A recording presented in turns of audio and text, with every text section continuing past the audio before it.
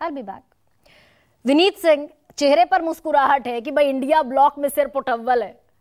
लेकिन हाजीपुर और जमुई जमुई पर अड़ गए चिराग पासवान और पशुपति नाथ पारस, तब यही स्थिति दिखेगी क्या आपके यहाँ भी? गरिमा जी, नमस्कार। गुड इवनिंग सभी को। आशा है मेरी आवाज़ आ रही होगी। पशुपति नाथ पारस नहीं है पशुपति कुमार पारस है। ठीक है। आप इनके नाम को लेके भगवान विष्णु के जो इनकारनेशन है उनको आप बदनाम मत कीजिए क्योंकि ये पार्टी तोड़ने वाले और परिवार तोड़ने वाले नेता हैं। देखिए दो चीज़ें हैं यहाँ पे। जो इंडिया अलायंस में कहते हैं ना इंग्लिश में कि लुक्स आर डिसेप्टिव तो इंडिया अलायंस की यही कहानी है। ऊपर से सब चीज़ दिख रहा है पर अंदर अंदर सारी पार्टियाँ सारे घटक दल हैं वो खंडित हैं। आपने सवाल हमसे पूछा कि हाजीपुर में और जमुई में क्या स्थिति रहेगी? हम्म। देखिए लोजपा रामविलास के राष्ट्रीय अध्यक्ष चिराग पासवान जी ने जो हमारा जनाधार है उसको बीजेपी जानती है। आज से नहीं ढाई साल तीन साल से हमने बिहार के उपचुनाव में भी उस जनाधार को लेके बीजेपी को जीत दिलाई है। हम्म। तो हमारे नेतृत्व ने बीजेपी के शीर्ष नेतृत्व से ये बात कह दिया है।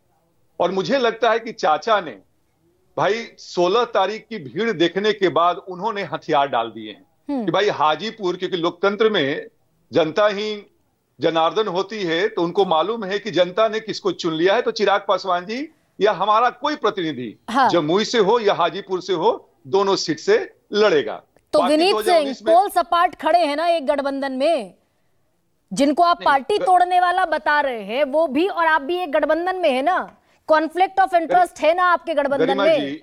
गरिमा जी 543 सीट में से मात्र एक सीट पे आप जो ये देख रही हैं उसको लेके कर रही हैं। और है। भी मैंने कहा कि 16 तारीख के बाद चाचा ने हथियार डाल दिए हैं कि भैया हमसे वहाँ पर नहीं होगा क्योंकि उनके पास 500 वोट नहीं है।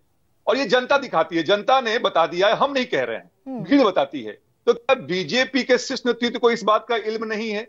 इस बात का संज्ञान नहीं है कि कौन अभी विनेबिलिटी फैक्टर की बात हुई थी कौन वहाँ से जीत सकता है?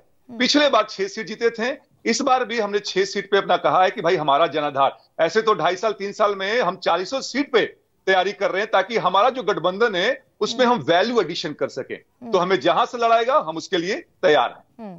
नहीं आप एक सीट की बात कर रहे हैं मैं तो उत्तर प्रदेश की भी बात करूँगी।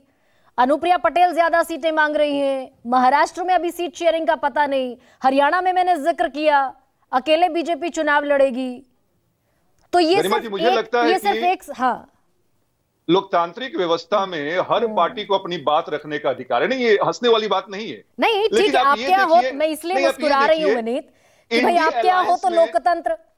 सुन तो लीजिए इंडिया अलायंस में हाँ। इंडिया अलायंस में जिस हिसाब से एक दूसरे पे आरोप लगाया जाता है हम्म। छीटाकशी की जाती है। क्या हमारे यहाँ कभी भी आपने लूज टॉक सुना है किसी के बारे में? हम्म। सबने अपने बात रखी है। ओम प्रकाश राजभर के बयान साथ बैठ के? याद होंगे आपको ओम प्रकाश राजभर के बयान निकालिए। जीतन राम मांझी के बयान निकालिए। नहीं नहीं। जीतन राम मांझी ने कहा है या ओपी राजभर ने कहा है कि भाई जो भी निर्णय होगा उसका हम स्वागत करें। कभी किसी ने ये नहीं कहा है जैसा कि इंडिया अलायंस में हो रहा है कि वो छुट भैया नेता कौन है वो चिरकुट हाँ, पार्टी कौन है। हाँ, हाँ। यहाँ पे कांग्रेस वॉज़ अ पार्टी किसी ने कह दिया। आप बताइए इंडिया अलायंस में किसी घटक दल ने ऐसी बात कही होगी? लेकिन लोकतांत्रिक तरीके से हर किसी ने अपनी बात रखी एंड वी आर वेटिंग क्योंकि हमको बीजेपी जो कि सबसे बड़ा दल है उसके नियत पे और नेतृत्व पे भरोसा है क्योंकि उसकी नियत पाक है। इंडिया अलायंस में नहीं कि जो कि नपाक इरादों के साथ चल रही है। इंडिया अलायंस और एनडीए अलायंस।